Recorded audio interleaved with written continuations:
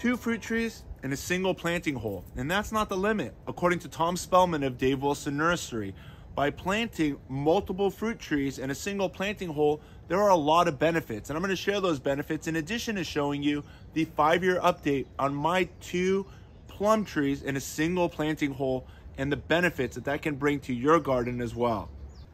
Hi, my name is Charles Malki, biologist and plant expert with IV Organics, where we grow cool plants and author of Saving the World with the Home Garden. And today I'm sharing with you my two plum trees that we planted here on the property five years ago. And I want you to come on up and just see how remarkably beautiful these two trees are growing side by side in the space and the footprint of what would only be a single fruit tree.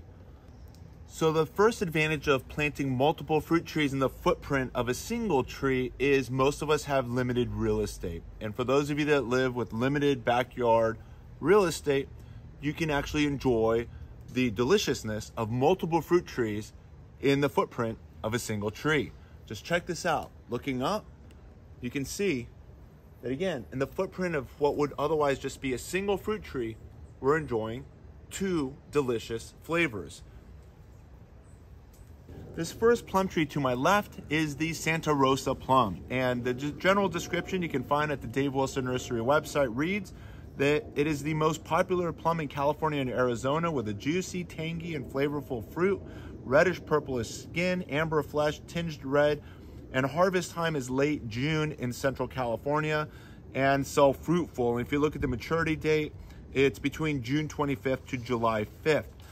And then just behind the Santa Rosa plum is my Satsuma plum. And again, reading from Dave Wilson Nursery, it is a longtime favorite plum in California with a molted maroon over green skin, dark red meaty flesh, sweet, mild, not tart, excellent for jam, harvest late July, and pollinized by Santa Rosa in beauty. Maturity date, August 5th to August 25th. So the second main point when it comes to limited real estate, the second main point is cross-pollination. Santa Rosa plum, we just read, is self-fruitful, meaning one plum tree is enough to enjoy Santa Rosa plums. But for Satsuma plum success, cross-pollination is required. And the way you accomplish cross-pollination is by planting a different variety. And so the Santa Rosa plum over here to my left cross-pollinized with the Satsuma to then produce all of that delicious fruit right over my shoulder, which we're gonna zoom in and get close to in just a moment. But check out all of that fruit over my right hand shoulder over here with hundreds of pieces of fruit that otherwise would not exist without cross-pollination as the Satsuma requires cross-pollination in order for successful fruit set. So by putting two trees in a single footprint, cross-pollination is very easy by wind and those bees that are traveling between the two different flowers. A third very important backyard orchard concept is successive ripening. And now again, in the footprint of a single tree, as we just read, we're able to enjoy plums over the course of two months instead of just about a week or two. So by planting multiple varieties, you can take a look at the ripening time so you're not stuck with just one flavor of plum and instead you can enjoy a variety of delicious plums over the course of several months by planting the right specific varieties alongside one another, all cross-pollinating each other, which aside from successful fruit set, helps improve the size of the fruit, the flavor of the fruit, and just the overall deliciousness of the fruit. So these are all important concepts, important for cross-pollination of your fruit trees. Well, I hope you enjoy this blast from the past moment where together we planted this two-in-one fruit tree five years ago, and hopefully this is a refresher for some of you that were with us way back when. And in the meantime, I'm going to be weeding and mulching and fertilizing as here we are now in June. And again, the light and the metabolism of the plant are now peaking as light hours are increasing, warmer temperatures are approaching. And again, for the plant to successfully support the fruit and continuously grow, and again, offer the optimal deliciousness and nutrition from those fruit, we're gonna make sure that we fertilize the plants as well. So again, we're going to weed, mulch, fertilize, and we're even gonna whitewash if necessary, depending on what's going on within the tree. And then we're gonna conclude with thinning the fruits, an important gardening concept to make sure that you, one, are protecting the tree's branches from breaking under the load of a heavy load of fruit set, in addition to maximizing the size and quality of each of the fruits. I'm gonna go into those details towards the end of this lesson. Well, I hope you enjoy our blast from the past moment. Enjoy. So now we've just inserted the two trees into the hole. I've got you a better view from up above now. And what I'm doing when positioning these two trees, and even though they're gonna be that close and with the roots right on top of one another, just a few inches apart, but what I'm looking at is the primary branches that I'm gonna wanna keep. And you're gonna see towards the end, we're still gonna paint the plants um, with our IV Organics product, as well as we're going to prune the plant um, at least by 30% and possibly more. But what I'm looking at are, these are my two favorite branches, so I'm trying to make sure that they're equally balanced to basically create this half of the plant. And then I've got these branches over here, which again, I'm trying to make sure that these branches do not point towards the center, but instead are equally balanced away from the center of these two trees. And now that I've got them both balanced the way I want within the soil, I'm now gonna take this improved native soil with the 50% compost with a few added, you know, about a half a cup, maybe a quarter cup of organic fertilizer. And I'm just gonna backfill the soil like so. Before I finish this process, and if you can come a little closer, a very, very important tip is to identify where the graft union is and where that first root is coming off the plant. So before we stabilize these plants, now that there's enough soil, I can kind of manipulate them to get them in the right position. But here's the graft again. And again, if you can control this, you're gonna wanna position the graft union, which is actually on this side, away from the sun. So you're gonna wanna um, direct it in a position that's away from the sun and allow the sun to beat up this side of the plant as sunburn is one of the issues, but it won't be an issue because we're gonna be coating it with the IV Organics product. But again, while we're positioning the plant, I can see that the first roots are here and I'm only gonna wanna coat it by about a quarter inch to a half an inch of soil. So this position's okay. By the time I finish the backfill, it'll be covered like so. But this part of the plant has to remain above the soil. And now let's take a look at the other graft. As you can take a look here, the graft is over here where my finger is, right there. And here's the graft union. And now we're gonna just try to find where that first root is coming up. And it looks like this one's a lot deeper. So we're gonna have to pull this one up a lot more than the other tree. So I'm gonna get that out a little more. And now begin to backfill around those roots to stabilize the tree. And now we can come back with a lot more soil.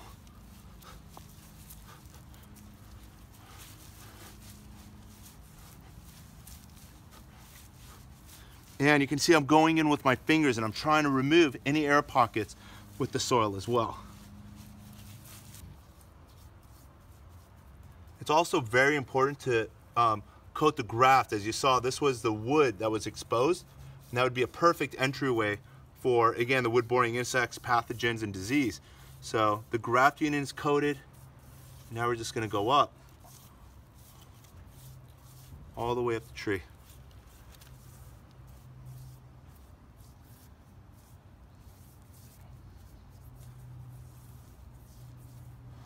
We're also gonna um, coat and cover all the exposed ends as well.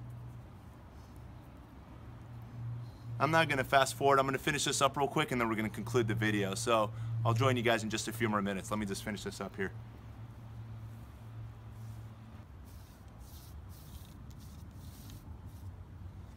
So we've just coated the entire plant and all of the prune tips with the IV Organics 3-in-1 Plant Guard product. So we just weeded. The weeds are actually competing with the surface roots for nutrients and air. And now with them gone, when we go to fertilize with the IV Organics, all-purpose fertilizers, which offer your plants all six plant macronutrients, which include nitrogen, phosphorus, potassium, magnesium, sulfur, and calcium. All six plant macronutrients are nutrients plants need in abundance in order for optimal health, performance, fruit set, and so much more. And we're gonna come with the hose later and soak it because the goal is you wanna get the water down to the deepest roots to encourage the roots to keep growing deeper. Shallow waterings are gonna result in a shallow root system. Deeper waterings are gonna be, for one, less frequent and is going to help basically strengthen your trees by encouraging the roots to go deep. And once we water, the nutrients will get into the soil and begin to feed the soil biology. This is again an organic fertilizer that's OMRI certified for organic commercial orchards as well as backyard growers. And you're basically feeding the soil to feed the beneficial life, which includes the earthworms, the beneficial bacteria, and the mycorrhiza, which are those fungal roots that basically network all the plants within your garden. And now by putting a two to three inch layer, you don't want to go too thick, but a two to three inch layer of wood chips is going to help keep the soil cool during the summer months, basically serving as a blanket. In the winter months, it actually keeps the soil temperatures warmer. Again, in the summer, keeps it cooler, also helps suppress weeds, helps retain moisture, and that's gonna save you money on your watering bills. And by suppressing weeds, it's gonna help save you a lot of time.